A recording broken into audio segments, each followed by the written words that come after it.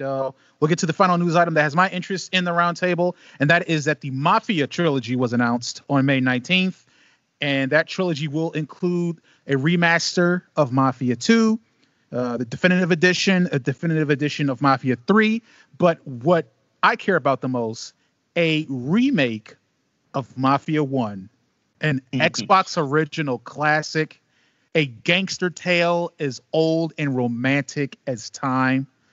Um, I understand that on the last level, I said, you know, hey, Bethesda or whoever else, stop doing these remasters and these remakes, right? But that's mostly because those games are newer, and honestly, they ain't worth it. All right, but Mafia One is is worth it in every single sense. The storytelling, the entire Mafia trilogy, is known best for its storytelling. Um, with Mafia Three, not so much the game mechanics got repetitive. It was really buggy and broken when it first came out. Um, but the stories are the characters, the world is always fleshed out and great. The ending of Mafia 2, if you guys haven't played these games and know the endings, guess what? I don't care. I'm talking about it anyway. All right. And my the ending of Mafia 2, where I forgot the care I forgot your character's name. Um, not your character, but your character's friend, because it's you and your friend. You guys get into the life, and there's a there's a scenario that sets up where you finish doing this last mission. The boss is like, all right, you redeemed yourself, and you guys are driving, and you're in one car, your friend's in the other car. You guys are in this convoy, and you think you're going back, and then all of a sudden there's a split in the road, and you go one way, and your friend's car goes the other way. Oh no! And you and you're like, oh, they're, about to kill this sob.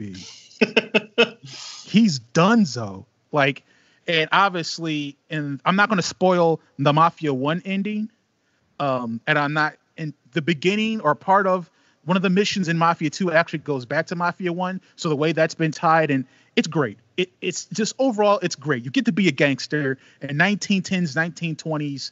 It, you get to dress in the trench coat and the hat, and you wear the Tommy guns, and you speak like a wise guy. And it's, hey, oh, what you doing? You know what I'm saying? Hey, you know, it's all that stuff.